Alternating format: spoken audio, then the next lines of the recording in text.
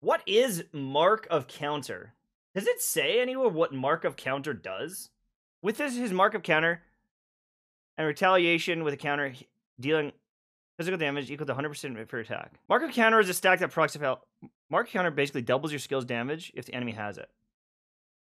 And additionally deals physical damage. Enemies marked by Svarog with it. How long does it? How long does it mark them? It doubles your damage to enemies marked. But if it doesn't remove the mark, how long is the debuff? Because then you could just spam this and, and get it all the time, right? Using your skill will not remove the marks of counter on the enemy. It lasts forever until they die. So it's just permanent. So so she just she just ramps way better. Damn, that is good. Wow, that is really good. I didn't I didn't realize that. Wow, so it's just a permanent thing. Hmm, that is really really strong. Wow, that is one of the best E1s in the game, is that not?